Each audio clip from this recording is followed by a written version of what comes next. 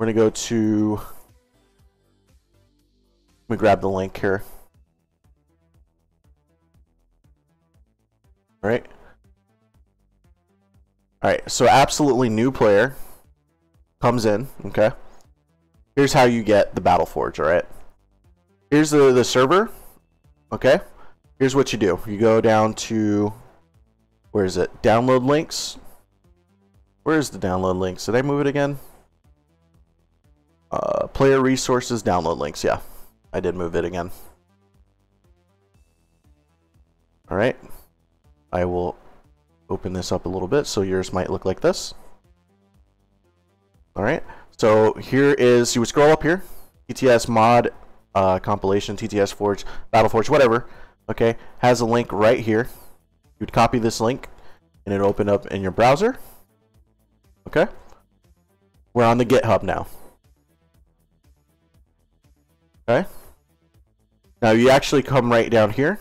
There's a there's a, a link that says direct download.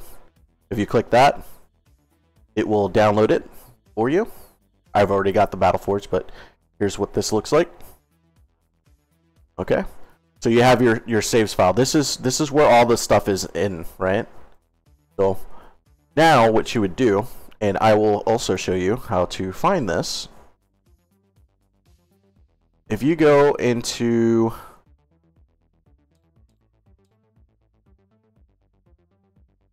No, that's not right. Okay.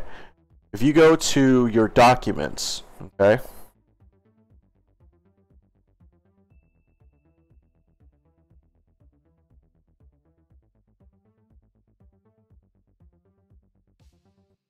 I'm on Windows 10, by the way, if you didn't notice.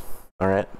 Um, if you go to your documents here, right, and you go to My Games, right, and then you go to Tabletop Simulator, all right, you'll have a saves file in there, right? This is your your your your saves file that all your saves are located in, right?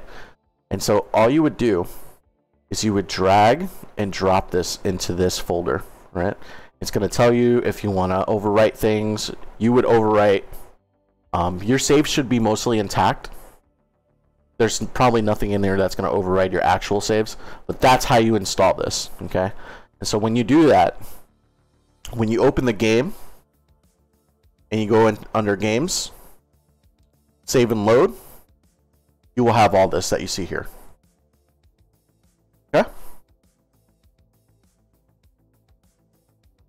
Right, and then we have it has a broad range of. It's got pretty much all the factions, and it's got all the uh, mostly new units. Going to be going to have mostly updated uh, stuff in there. I know that off the top of my head, there are some things that need to be updated, but there is an effort to keep this updated.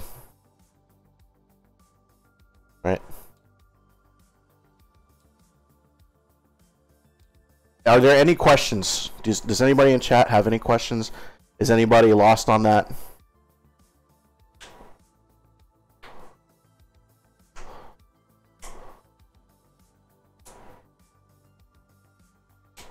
Were the maps removed in the update? No. Well, okay.